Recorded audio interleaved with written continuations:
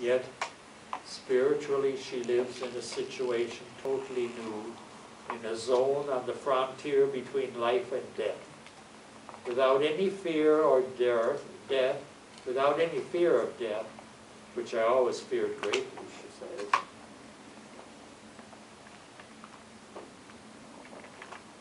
She observes as though from up high the mechanisms of social life, the farce over money and honor.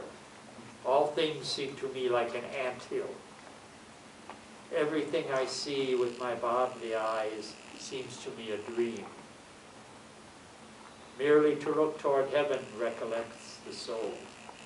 She is secure in thinking that never does he neglect me, never does God neglect me. Likewise, she is convinced that there are few who have arrived at the experience of so many things. As a result, in the depths of her psychology, there prevails the gesture of amazement expressed with her typical words, to be frightened or amazed, repeated with different nu nuances 22 times in these chapters. The most determining factor in this amazement is the dynamic of the desires and the attitude of hope. She lives against the clock. I am consoled to hear the clock strike, for at that passing away of the hour of life, it seems to me I am drawing a little closer to the vision of God. The hour of seeing God is now measured by the parameter of death. Hence her classic motto, Lord, either to die or to suffer. Notice she doesn't say either to suffer or to die, but either to die or to suffer, because it was an expression of her longing for death. I don't ask for anything else for myself. Another alternative meaning is to die to see him. Not to die is to work for the good of others, for his glory. I would like some soul to profit a little by all that can be said about me. Since I have been living in this house, St. Joseph, the Lord has been pleased that all my desires converge upon this one desire. And he has given me a kind of sleep in life, or it almost always seems to me that I'm dreaming what I see. The final balance, this is the way in which I now live my life. And my Father, she sums up the strong tension between the eschatological, to die in order to see God, and the ecclesiological, to live serving others. It is the classical Pauline dilemma in Philippians. I do not know, Paul says, which I shall choose. At bottom, Teresa is convinced that the end is near. Yet she will have to live 17 more years of life in permanent service. That's how she ends her life. Then we have the way of perfection, another little work. As with the life, the way of perfection was also redacted twice by Teresa. But in this case, we conserve both redactions. The life we just had this last one.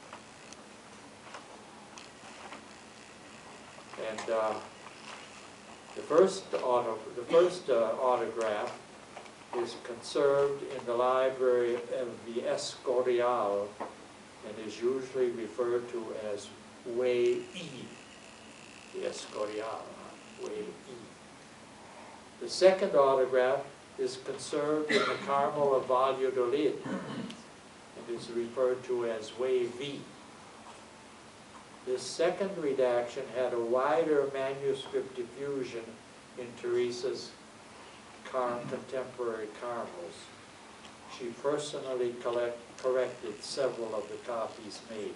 See, because when the king, Philip II, who was a great fan of Teresa, when he died, he, he had requested that all great classical works be kept in his library of the Escorial, and so they had to collect Teresa's manuscripts and bring them to the Escorial, and that's why the first, the, the redaction of the life is in the Escorial Museum, and so this first redaction of the Way of Perfection, but the nuns kept the other one.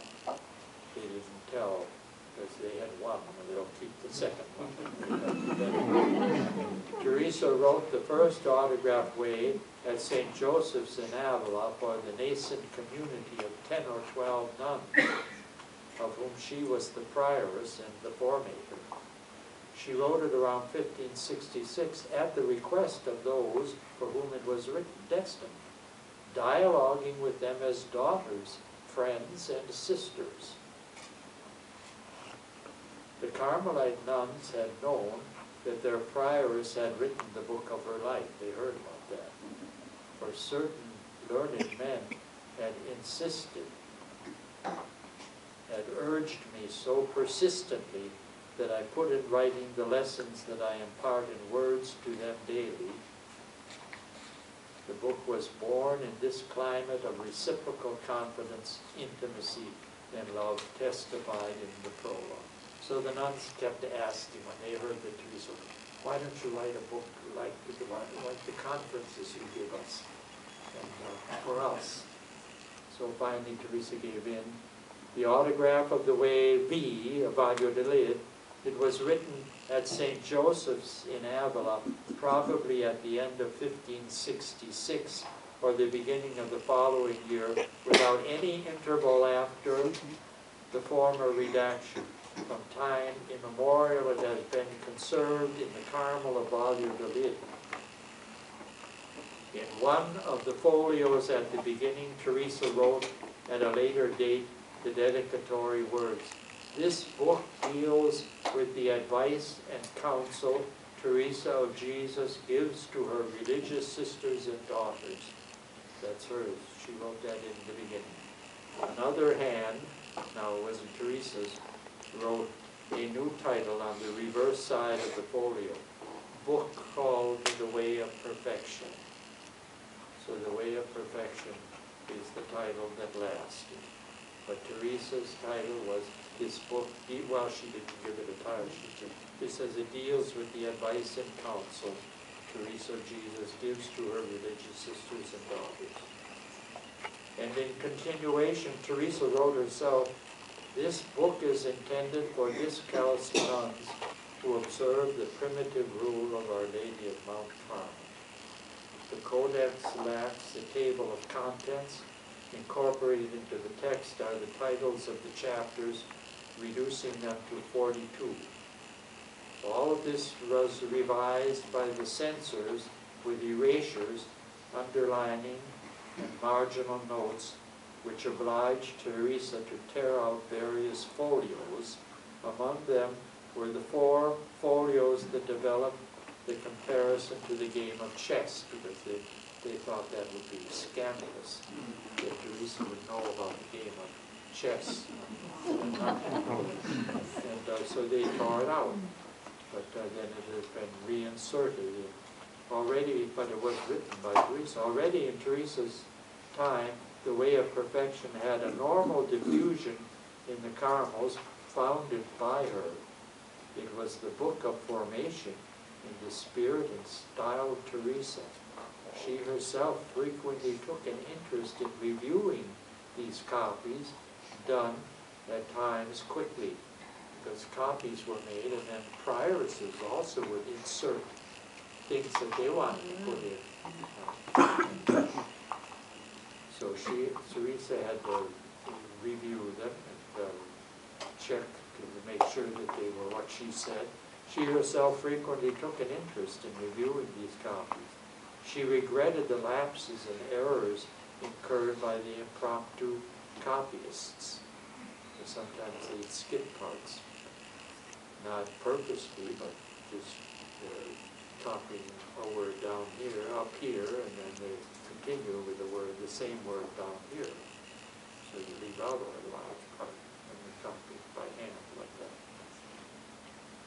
For the indispensable approbation of the book, Teresa had to have recourse to her Dominican friend, Father Garcia de Toledo, who had good knowledge of the preceding book of her life. So Father Garcia accepted, for love of Teresa, the commission of being her censor, the censor of the way of perfection. Padre Garcia went over the first 20 pages without any problem. But when he comes unexpectedly to the passage in which Teresa gives her defense of women, with clear allusions to the Inquisition, since the world's judges are sons of Adam, and all of them men, there is no virtue of women that they do not hold suspect. That she writes in the way of perfection. He frowns and decides to do away with this whole passage as being dangerous. He leaves it unreadable, but without any marginal note to say why. Only that from this moment on he remains alert and burdens the book with notes and scribbles, entire pages crossed out with an X. He corrects Teresa when she tries to comment on Psalm 88. This is not the meaning of this psalm. Before the allusion to the index of forbidden books, he seriously warns her. It seems she is reproving the Inquisition for forbidden books on prayer and erases the dangerous allusion. Probably it is due to the warnings of Padre Garcia that Teresa tore out and redid various pages that spoke of pure love, or likewise cut out four pages that treated of humility and the game of chess. Fortunately, all the other passages crossed out by the censor in the autograph have been recovered by the editors. They figured out what Teresa said. Thus we can read them in their original integrity despite the strength of the smudges that were intended to expurgate what was crossed out. After this work of the censor and the consequent meddling of the theologian in the text of the way of perfection, the question spontaneously arises, didn't Teresa succumb to outside criteria? Didn't she have to renounce her own ideas?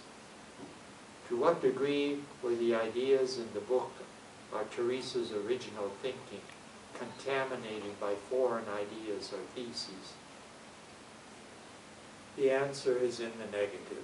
It is certain that the crossings out and smudges in the text made the author to tone down her expressions and even her thought, yet it doesn't seem that even one of the numerous notes of Padre Garcia in both autographs or of the other censors of the second autograph had any impact or distorted even so much as one of the ideas expressed by Teresa or made her retract.